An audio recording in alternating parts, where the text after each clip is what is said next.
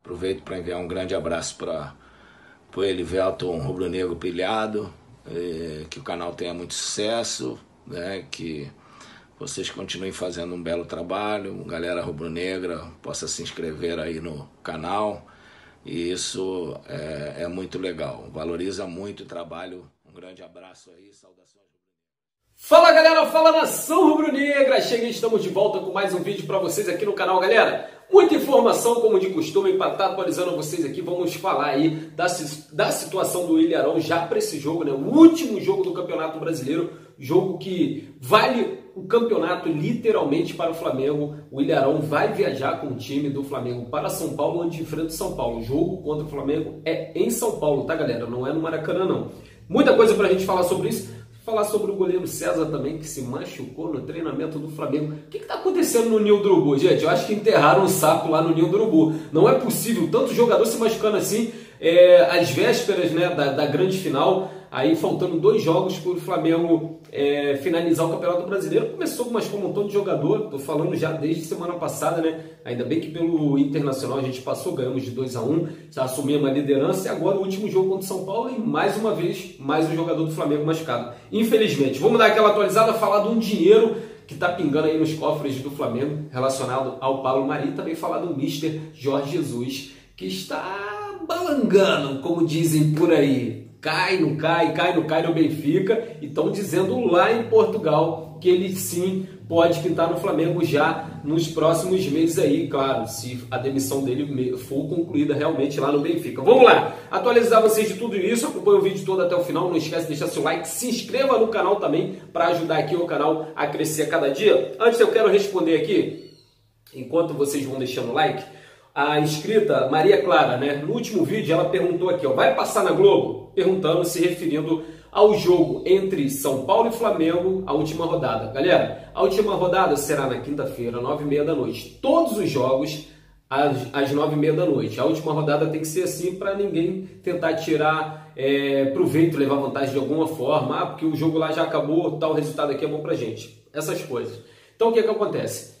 O jogo, a Globo, é, é claro, fez remanejou toda a grade dela, mexeu no Big Brother, mexeu no sei o que e botou os jogos da quinta-feira para ser em TV aberta. Só que algumas regiões não vai passar, infelizmente, o jogo do Flamengo e São Paulo porque vai ter um internacional com o Corinthians. Ou seja, as regiões que precisam ter os jogos do Corinthians transmitido eu jogo o jogo do Internacional transmitido, não vai passar o jogo do Flamengo, tá? Infelizmente para essa região só o Premier. Mas se você não tem por onde assistir, como de costume, eu vou trazer aqui para vocês um vídeo com um link para você assistir também pelo Instagram. A galera que gosta de assistir os jogos pelo Instagram também pode acompanhar pelo Instagram. Então, ativa o sininho aí, se inscreva, ativa o sininho, fica ligado. Na quinta-feira, antes do jogo, eu vou trazer um vídeo aqui explicando para você o passo a passo como fazer isso. Valeu? Vamos lá! Falar aqui das informações, quero rapidinho falar sobre essa situação do Pablo Mari. O Flamengo vai cair nos cofres do Flamengo aí uma bolada é, de nada mais que 6 milhões e meio de reais referente à negociação envolvendo o Pablo Mari. Tudo isso porque Pablo Mari completou na última partida 10 partidas com a camisa do Internacional e por isso confirma, né? Isso também está no contrato, não tem que pagar esse valor, esse valor ao Flamengo aí caso ele completasse. Ele completou, então Vida que segue o culpado Marinho lá no, no Arsenal, mas é mais um dinheiro que entra para os cofres do Flamengo em época de pandemia. Isso é muito bom, a gente agradece. A firma agradece. Galera, seguinte, para o jogo é, de, de quinta-feira contra o São Paulo, valendo o título, valendo o octa para o Flamengo, o Flamengo tá com todo o elenco tranquilo, né? O Flamengo treinou hoje pela manhã, a preparação aí visando o jogo contra o São Paulo. O Flamengo treina amanhã também, quarta-feira no Ninho do Urubu e na quarta-feira, amanhã à tarde, viaja para São Paulo,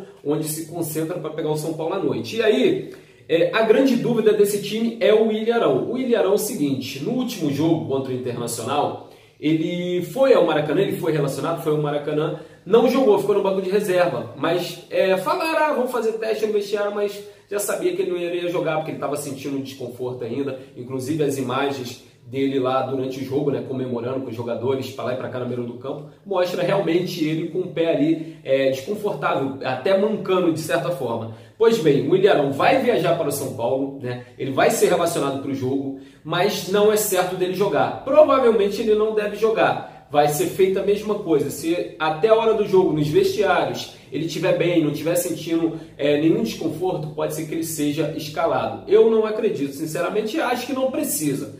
Apesar do Gustavo Henrique ter vacilado, né, ter feito aquele pênalti lá na minha visão infantil, mas eu acho que na zaga a gente não tá tão é, ruim assim não, tendo o Rodrigo Caio e Gustavo Henrique ali. Rodrigo Caio passando a segurança para o Gustavo Henrique. Então, nesse caso aí tá tudo tranquilo. Agora, a informação sobre o goleiro César. Cara, isso muito me preocupa. Eu fiz até uma postagem lá no meu Instagram e falei sobre isso, né? No treino de hoje, na manhã de hoje, o goleiro César ele sofre, sofreu uma entorse no joelho direito. Cara, é o que eu falei, a bruxa tá solta literalmente, porque semana passada foi o William se não me engano, na quinta. Na sexta-feira, é, o Bruno Viano, zagueiro recém-chegado ao Flamengo, que nem estreou como titular e a propósito ele voltou a treinar hoje também, tá tudo bem com ele, mas ele se machucou semana passada. E cara, toda hora, aí depois foi o Michel no sábado, aí hoje, terça-feira, o goleiro César. Cara, o que está acontecendo no Ninho do Urubu? Eu sinceramente não sei. Parece que enterraram alguma coisa naquele terreno lá que os jogadores vivem se machucando. Enfim, vamos lá. Seguindo com as informações aqui, é, então sobre o elenco do Flamengo,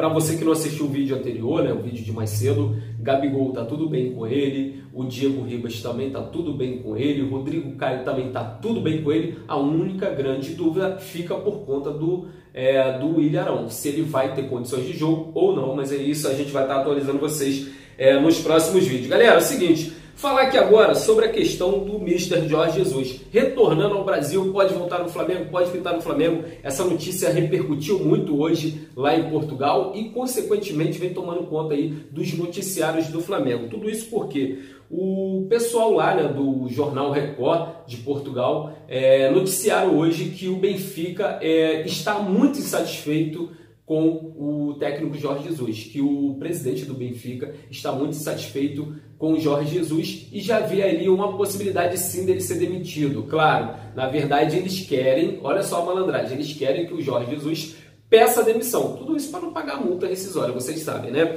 E o retorno dele, segundo informações da galera lá do Jornal Record, é, não está descartado o retorno dele ao Brasil e, consequentemente, ao Flamengo, deixando bem claro que fonte ligada a ele é, já teria confidenciado que se tivesse que voltar ao Brasil, o, o, clube, né, a preferência dele seria realmente o Flamengo. E aí, vale destacar que a gente está indo para a última rodada contra o São Paulo e a diretoria do Flamengo, depois de ter sofrido uma grande pressão com a eliminação da Copa do Brasil e também da Libertadores, deixou bem claro que não, não tinha a intenção de continuar com o Rogério Ceni para a temporada 2021. Isso poderia mudar caso o Flamengo viesse conquistar o Campeonato Brasileiro, que é agora quinta-feira. Se o Flamengo for campeão brasileiro, pode ser que a situação do Rogério Ceni dentro do Flamengo mude e ele possa permanecer por mais um tempo. Mas até então, a cabeça da diretoria é trabalhar já e buscando um novo nome para que depois do término do Campeonato Brasileiro rescinda o contrato do Rogério Ceni, que a multa rescisória não é nada de anormal também, e aí libere ele e traga outro treinador. E de contramão acontecendo no início lá no Benfica, o Jorge Jesus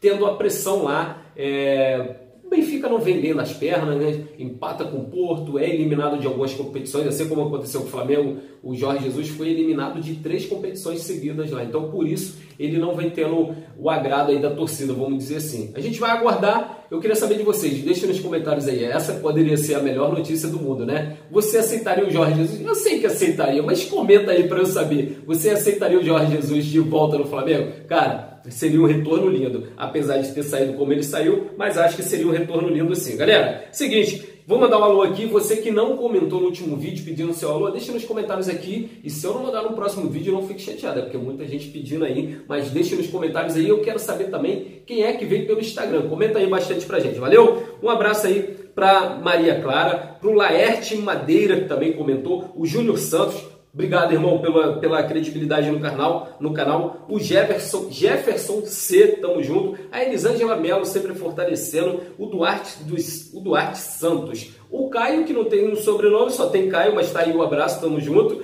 Marcelo Vicente, o Pedrão de Bel, o Pedrão de Belfor Roxo, Baixada sempre fortalecendo.